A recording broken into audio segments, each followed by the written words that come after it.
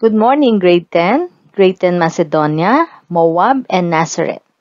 This is our first lecture for bartending week 1.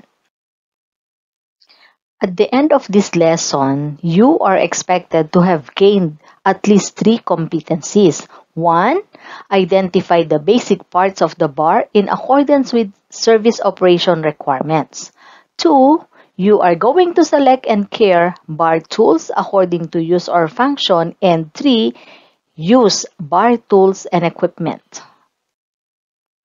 Alright, the question is, why do we need to study bartending or operating the bar? If you are interested to work in a food and beverage industry, this subject will provide you with concise and accurate information that will make you more comfortable in the job. Studying bartending will encourage you to be confident and will help you to adapt faster to the job. Alright? Operating the bar. There are three topics under this. One, different types of bar. Bar setup and considerations. Two, parts of bar. Three, under the bar and back bar equipment. So under the bar or at the back, there are three categories. We have the mixing, washing, and storage equipment. A bartender formulates and serves alcoholic or non-alcoholic drinks behind a licensed establishment. He also maintains the supplies and inventory for the bar. So ano nga ba yung bar? A bar is a place where drinks are prepared or mixed and served to a customer. Basically, there are only four types. We have the entertainment, coffee, stand-up, mobile, or portable bar. An entertainment or cocktail bar serves high-quality alcoholic and non-alcoholic drinks including cocktails or mixed drinks. It is a bar designed to provide special entertainment like live band, a sing-along, video videoke, or live entertainment done by known singers, dancers, and comedians. A coffee bar has become a phenomenon nowadays as the place not only serves high-quality coffee but is also designed to be an ideal venue for a chat with friends or for holding small meetings. How about a stand-up bar? It is simply a bar counter inside a food service outlet where drinks orders are prepared. Drinks orders are endorsed to the bar and then picked up by servers to be served to customers' tables. So remember, yung stand-up bar ay part siya ng isang food service outlet. Pag kumuha ng orders ang waiter or waitress, hahatiin niya sa dalawa. Yung mga hot foods or cold foods sa pantry or sa patisserie, ibibigay niya yun sa kitchen, sa hot and cold. Pero merong kayong orders na drink, ito ay i-endorse niya doon sa stand-up bar. At kapag ready na, pipick up niya and then isa-serve sa inyo. Moving on to mobile or portable bar, it refers to a bar that is movable and can be transferred from one place to another. It is usually used for parties and for special occasions or functions such as banquet and catering. So halimbawa, yung event ninyo ay ginawa sa tabi ng swimming pool o kaya naman malapit sa beach o kaya naman sa isang clubhouse ng subdivision. Pwedeng mag-set up doon ng bar. Ang tawag doon ay mobile or portable bar. Ang tinatawag nating bar service brigade ay ang mga tao na bumubuo or nagpapatakbo ng isang bar. Of course, ang pinakamataas dito ay ang tinatawag natin na bar manager. He plans, directs, oversees, and control the bar operations. Ang supervisor naman or yung tinatawag nating bar captain, siya yung nagre-report directly to the bar manager. Kung minsan, kung walang supervisor, may bar manager. Kung may bar manager, sometimes walang supervisor, depende sa laki or liit ng bar operations. Ang tinatawag nating members ng bar service brigade ay ang mga sumusunod.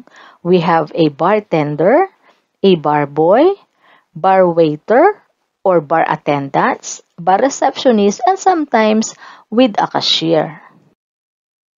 Now, let us discuss the basic functions of the bar service brigade.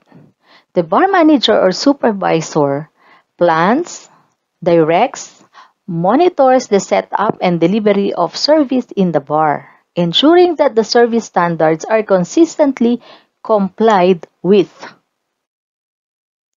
A bartender prepares or mixes alcoholic and non-alcoholic beverages according to prescribed standards, while a bar boy acts as a runner and helper in the bar. Bar waiters and bar attendants take and serve beverages and other orders according to prescribed standards of service. A bar receptionist, on the other hand, welcomes and greets customers at the entrance and escorts them to their tables. Different types of bar requires different setup considerations.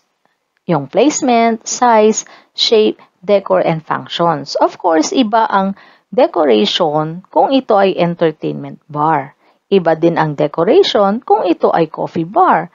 Ganon din yung size and shape depende sa target market. The same with placement. Kung ikaw ay coffee shop, saan ba yung uh, lugar na in-demand ang coffee shop? Yung entertainment naman na bar, saan mo naman siya ilalagay? Meron tayong mga tinatawag na policies or guidelines. Meron tayong tinatawag na mga area na restricted para sa mga entertainment bars. Meron namang lugar na madaming coffee bars kasi depende doon sa mga businesses or establishment na, na nakalocate doon sa area na yon. For the parts of bar, we have front, back, and under. The front bar is the place where guests sit, order, and drink. It should be functional and have adequate space for pouring and serving drinks. The back bar comprised of a top shelving where premium liquors are displayed and a cabinet underneath where reserved liquor bottles are stored. The underbar is considered as the heart of the entire beverage operations. The front bar has the different parts. Bar table, bar die, glass rack, rail, footrest, pickup station, and armrest. Under the bar, normally uses stainless steel. Ayan yung example. Bakit kaya stainless steel? Kasi ito ay durable, It can be easily cleaned and it is not affected by the use of chemical cleaners needed to kill the bacteria. Kaya yung ilalim ng bar, ang pinaka-frequently used material ay stainless. The different parts of underbar are the following. We have the pouring station, speed reel, ice bin, butter wells, hand sink, drain board, and glass sink. Alright, bar equipment. Bar equipment can be classified into three. We have the mixing, washing, and storage. Mixing equipment is known as a cocktail station, cocktail unit, beverage center, or jockey box. Pouring stations are equipped with an ice chest or ice bin, with or without bottle wells, and a speed rail attached to the front. So, meron tayong glass froster, glasses, frozen drink dispenser, mixer, shaker, and blender, handgun for dispensing drink mixes, containers for bottles, and of course, yung mentioned ko kanina na ice chest and ice bin. This is an example of a mixing equipment, which is known as cocktail station, cocktail unit, or beverage center, or For washing equipment, we have at least five. Three or four compartment machine, drain boards, special glass washing brushes, hand sink and towel racks, and the waste dump.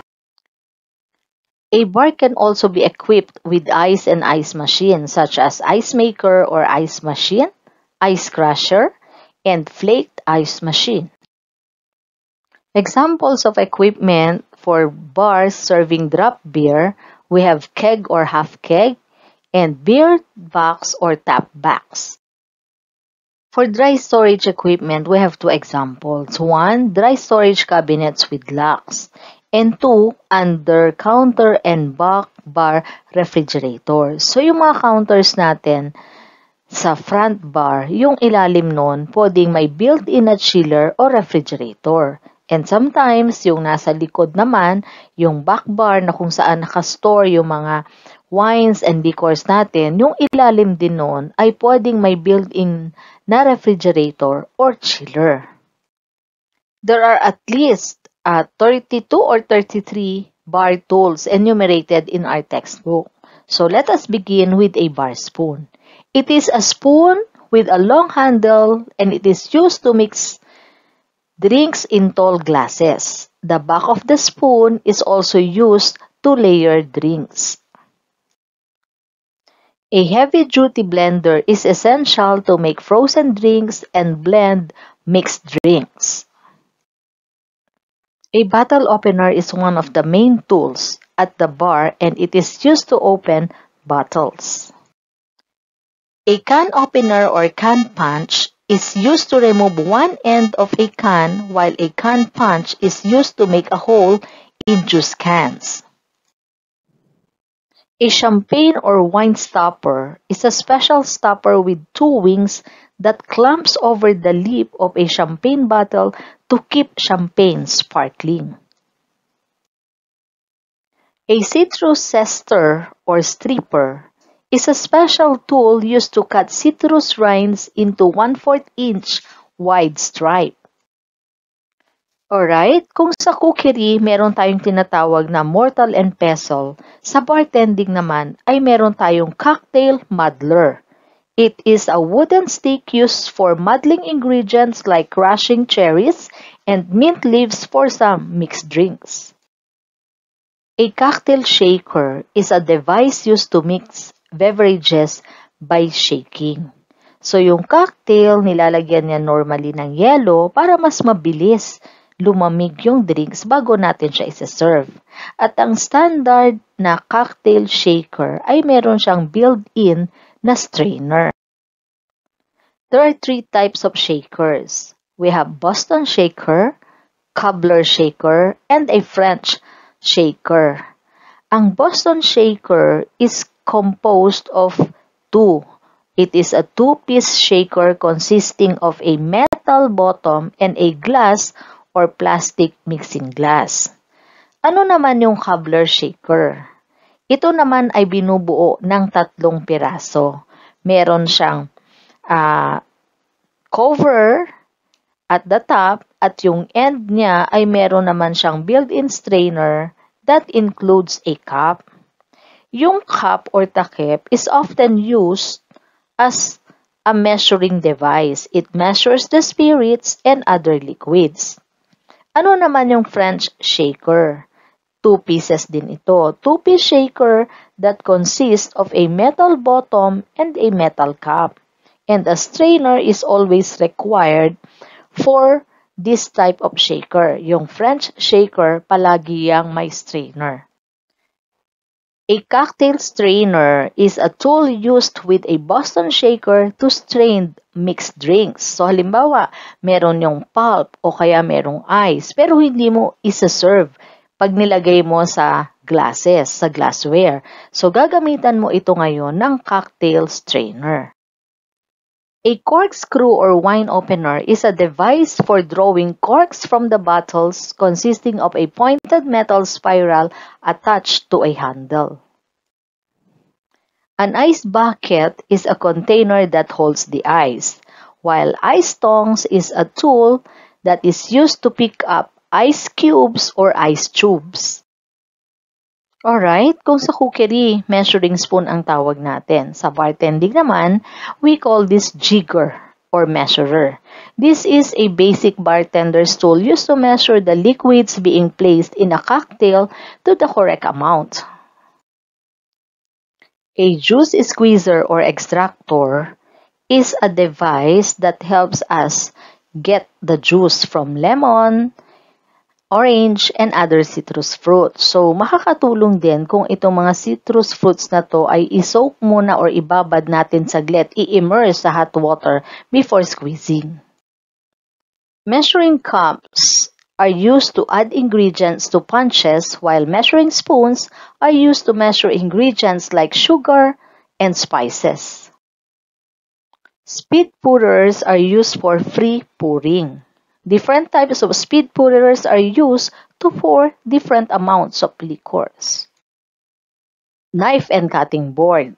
A sharp paring knife and a small cutting board is necessary to cut fruit garnishes. Now, what is a wine measuring glass? They are needed to make wine mixing easier and help deliver the right quantity.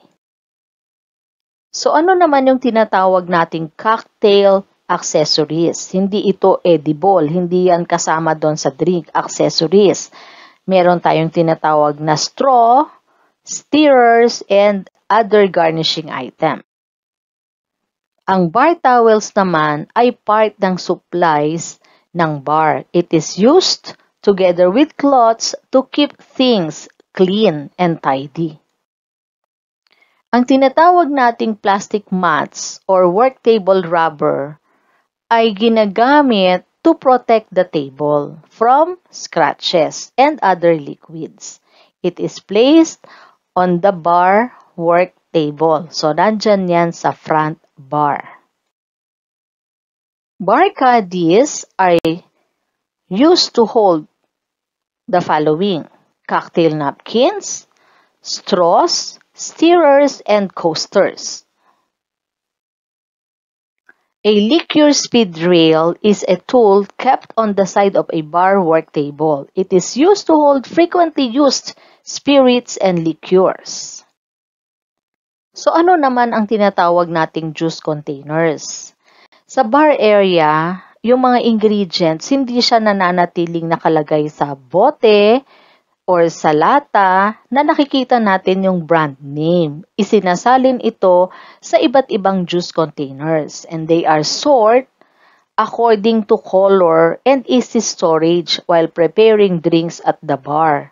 Example, yung kulay green, ang laman niyan apple juice. Yung orange ay orange juice, yung yellow ay pineapple juice, yung red ay grapefruit, yung white ay milk, at ang red naman ay tomato juice.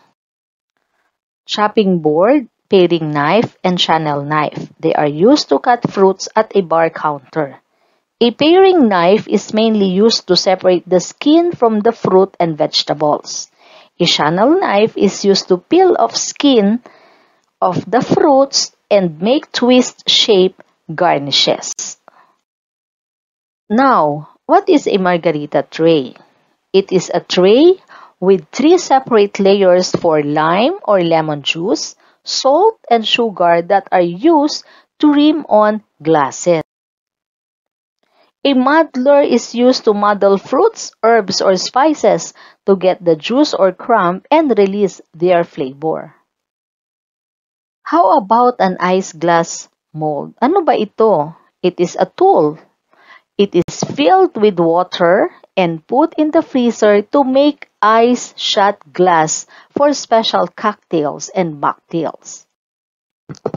A bartender's shoes should be something that is comfortable and slip resistant. How about a bar floor mat? It is a mat placed on the bar floor for hygienic reasons and of course to reduce breakage from accidental dropping of glasswares. Glasswares are used to serve drinks and it plays a big part to your overall concept.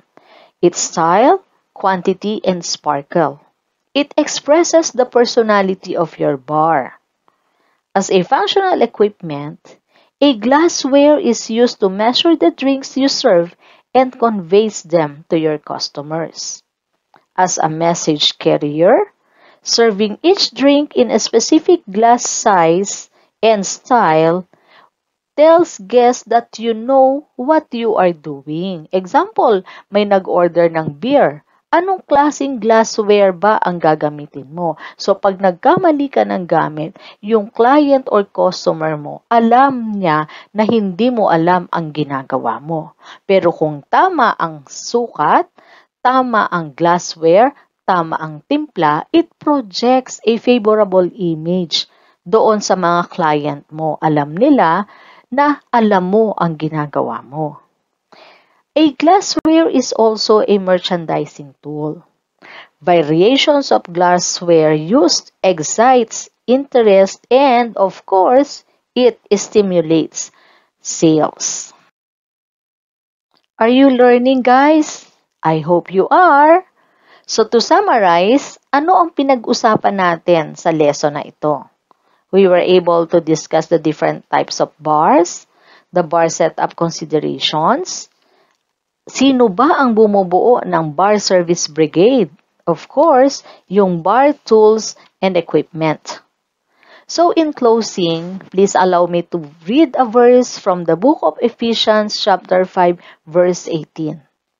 Don't be drunk with wine because that will ruin your life. Instead, be filled with the Holy Spirit. This has been your teacher, Malu Obispo, saying thank you for listening. Stay well and safe always. Bye, guys!